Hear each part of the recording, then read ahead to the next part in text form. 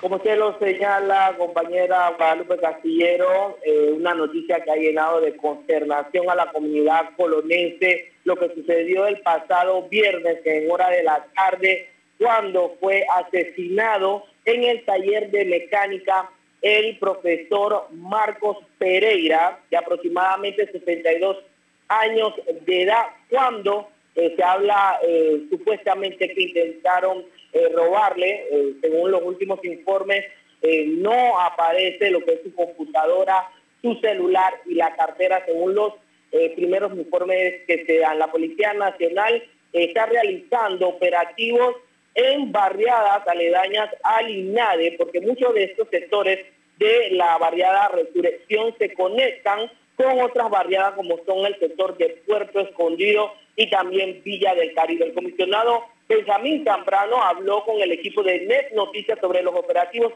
que se están realizando para dar con la captura de los supuestos autores de este crimen. Escuchemos. Ya el homicidio del día de ayer, el Ministerio Público, junto con nuestra unidad de, investigación, están realizando ya los respectivas pesquisas para buscar al presunto eh, o un sujeto que impactó al profesor. Ah, o sea que no se ha dado todavía ninguna detención. Todavía, todavía no hay detenciones. Estamos en la búsqueda todavía, estamos en la búsqueda de información, en la búsqueda del sujeto para lograr la captura del mismo. ¿El móvil podría ser el robo al sí, todavía no se ha determinado en realidad.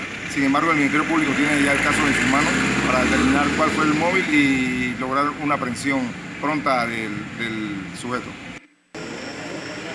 Es parte de lo que señaló el comisionado Benjamín Zambrano, jefe de la zona, pero como lo adelantó en este noticiero el profesor Felipe Cabeza, eh, los instructores del INAD aquí en la provincia de Colón eh, han impedido lo que es que se realicen eh, la, la de los seminarios que aquí realizan ni que tampoco ingresen personal administrativo al INADE, exigiendo seguridad y la presencia del director nacional del INADE, Samuel Rivera, que se presenta a este lugar, porque ellos han denunciado que vienen desde varios meses exigiéndoles más seguridad a la Policía Nacional y también a la administración del INADE. En el día de hoy ellos han bloqueado el acceso, ellos pusieron una cadena eh, que tiene unos candados y no se ha podido eh, ingresar a lo que es el INADE hasta eh, que venga lo que es el director nacional. Pero vamos a escuchar parte de las declaraciones que dieran estos instructores del INADE que exigen